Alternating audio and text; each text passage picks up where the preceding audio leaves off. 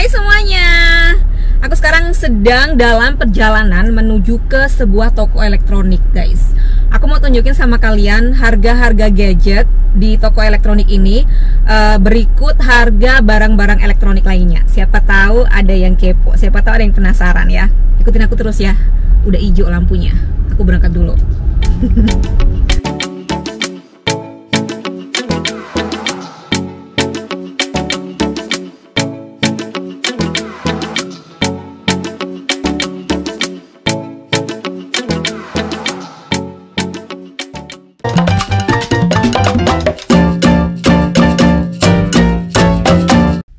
barusan sampai di depan toko elektroniknya.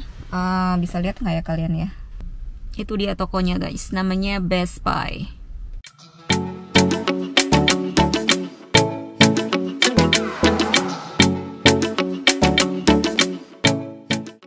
Oke, okay, aku udah sampai di Best Buy. Besar banget nih guys tokonya. Kita lihat laptop dulu kali ya. Ini ada di dekat pintu masuk. Oke, okay, harga laptop. Yang pertama ini ada Microsoft Surface Go yang 12 inci harganya 600 dolar. Lalu ini ada Microsoft Surface 4 yang 15 inch ya ini kalau nggak salah harganya 1300. Ini Microsoft Surface 4 yang 13 inch harganya 1000 dolar. Lalu ini ada produknya Apple, ini ada MacBook Air yang 13 inch harganya 1000 dolar. MacBook Pro yang 16 inch harganya 2400 dolar.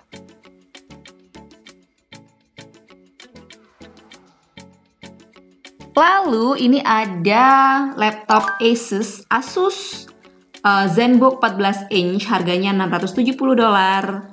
Kemudian ini um, ini apa nih? Oh, Dell, Dell Inspiron 14 inch harganya 800 dolar. And then Samsung, Samsung yang Galaxy Book Go 350 dolar. Lalu ada Lenovo Yoga 7i yang 11 inch harganya 600 dolar. Ini adalah HP Spectral 360 harganya 1630 dolar. Lalu kita intip harga Apple Watch U. Ini yang series 6 harganya 430 dolar, guys. Kita tengok harga iPhone 12. iPhone 12 Pro Max harganya 1100 US dollar, guys. Kemudian ada Samsung Galaxy S20 harganya 700 dolar. Sedangkan Samsung Galaxy S21 harganya 800 dolar. Kalau ini, ini adalah HP dengan merek-merek yang nggak terlalu populer di Amerika seperti merek LG, merek Moto G. Moto G itu kalau nggak salah Motorola ya. Harganya pun jauh lebih murah guys tuh, 200 dolar, 150 dolar. So cheaper ya. Kalau ini, ini adalah HP-nya Google yang Pixel itu ya. Harganya segitu tuh. Kalau kalian nanya apakah ada merek Xiaomi di sini, jawabannya tidak ada. Terus ini adalah Samsung Galaxy Tab uh, A7 ya, harganya 160 dan 200 dolar. Sampai di bagian kamera, ini ada Canon Click 2 Pocket Camera, ini harganya 130 dolar.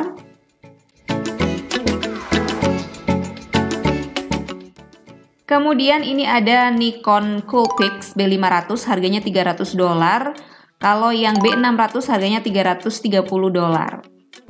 Lalu ini ada Canon PowerShot XS7 harganya 400 dolar. Nah, ini kamera yang aku mau beli guys, DJI Pocket 2, harganya 350 dolar. Nah, kalau ini adalah security cameras ya, kamera keamanan untuk smart homes. Ini harganya juga macam-macam, ada yang paling murah 100 dolar, yang mahal 900 dolar. Kita sampai di bagian headphones guys. Ini headphones merek Beats.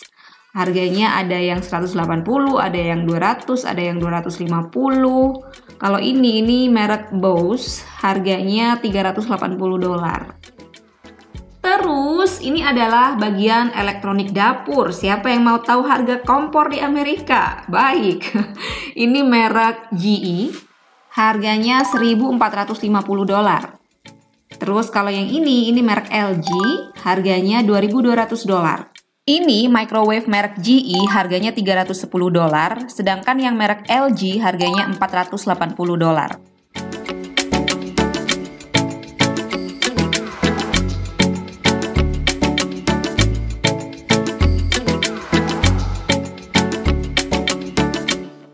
Sekarang kita intipin harga kulkas guys. Ini kulkas Samsung, harganya 3000 dolar, dua pintu, freezernya ada di bawah ya, di drawer.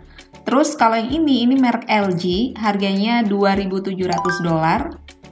Yap. Terus yang ini, ini adalah KitchenAid. Ini mewah banget sih. I love this one.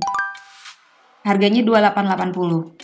Sekarang masuk ke bagian bersih-bersih. Ini vakum robot yang lagi populer banget ya. Air robot harganya 350, ada yang 275. Terus ini vacuum yang pakai tangan ya. Ini harganya lebih mahal. Uh, ada yang 500 dolar, ada yang 800 dolar. Terus ini bagian mesin cuci. Berapa harga mesin cuci di Amerika? Ini adalah merek Insignia guys. 650 dolar. Kalau yang ini merek GE harganya 945 dan ada juga yang 855. Kalau ini adalah mesin cuci front load ya, yang pintu depan. Ini sekalian sama dryer. Jadi kalau di Amerika itu umum sekali orang pakai uh, mesin pengering guys. Jadi ini dryer dan sekalian mesin cucinya. Ini merek Samsung harganya 1000 dolar. Harga washer dan dryernya sama ya. Terus ini juga merek Samsung nih 1035 dolar. Nah, sekarang ini adalah bagian TV. Harga TV di Amerika. nah, kalau ini nih, ini merek LG OLED yang 65 inch harganya 1.800 dolar.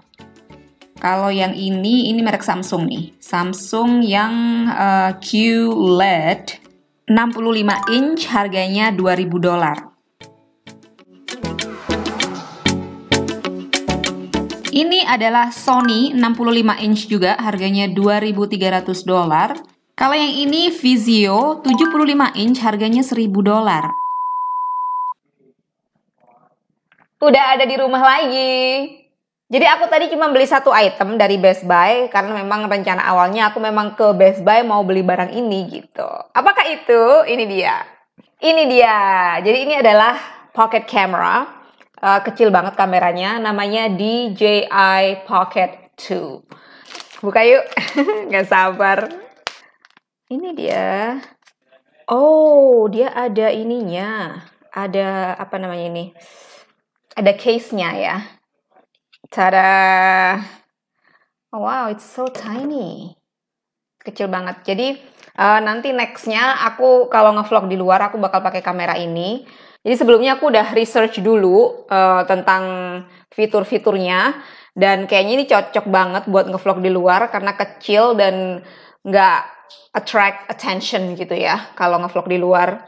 Terus ini ada chargernya juga, bisa dicas langsung, jadi nggak pakai baterai ya. Banyak banget ini isinya apa sih ini kok? Oh ini apa namanya? Adaptornya banyak banget ya. Jadi disesuaikan sama HP bisa pakai iPhone, bisa pakai Samsung mungkin ya. Apa bentuk colokannya beda-beda guys. Oke, harga. Harganya ini tadi 350 dolar, teksnya 27 dolar, jadi totalnya 377 dolar. Oke, aku nggak sabar pengen cobain kameranya. So, sekian dulu video kali ini. Mudah-mudahan kalian suka. Jangan lupa di-share kalau suka. Sampai ketemu di video selanjutnya. Bye!